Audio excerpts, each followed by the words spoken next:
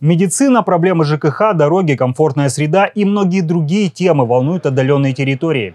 В микрорайоне Китой прошла встреча жителей с представителями администрации Ангарского округа.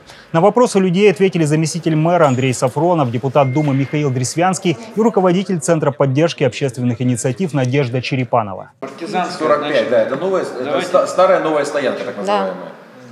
Была старая, разобрали, потому что они Василия Витальевна обещала включить ее в перечень. У нас один павильон получается где? Э, на пароме в обратную сторону и на леснике. Просили еще пешеходные переходы на Комсомольской улице. Немаловажный момент мы с ГАИ согласовываем э, необходимость устройства пешеходного перехода, обосновываем, закладываем расчеты, ну то есть финансирование, отдельные контракты уже устраиваем.